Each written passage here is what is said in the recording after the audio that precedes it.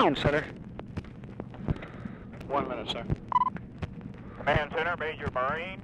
Major, this is President. What do you have on that uh, aircraft lost? Sir, I'll put General Fogle, DDO, right in. The President's on the line, sir. Uh, Mr. President, this is General Fogle, uh, the Deputy Director for Operations at the Command Center. Yes? Mr. President, Yes? Mr. President, uh, this side, I'm on too with General Fogle. I was just getting the latest information. Yeah? Uh, the latest information is that the uh, pilot is missing still. His fuel has run out, so he presumably is down. The others are saved, so that that means that one out of the four is missing.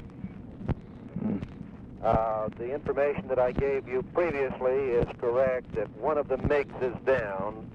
Uh, apparently, that was all of the damage done to them.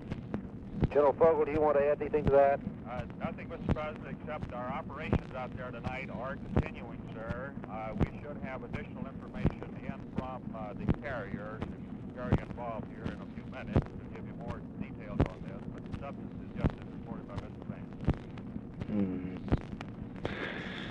Okay. Uh, this hadn't been, uh, this is not out yet, is it? Uh, it's not been released on the press, no, sir. We have advised Mr. Sylvester's office here at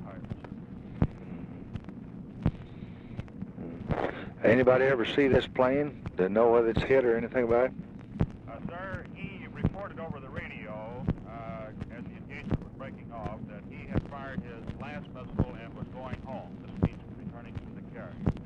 We have nothing to indicate that uh, he was hit or on fire or anything of that nature.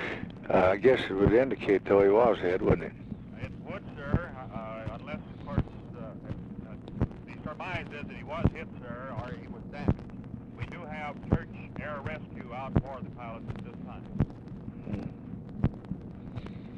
Now, what do you think happened? Think he, the, after he's out of uh, ammunition, that uh, MiG took him on and brought him down? That could be it, Mr. President, although we don't, uh, that is a surmise on it, although we don't have the facts. Well, that would be the most logical thing, wouldn't it? That would be the most logical assumption. Right. Okay, you call me when you get anything else. Right, sir. Will do. Make a difference what time it is. I'm up uh, in and out all night. All right, sir. Uh, Very good.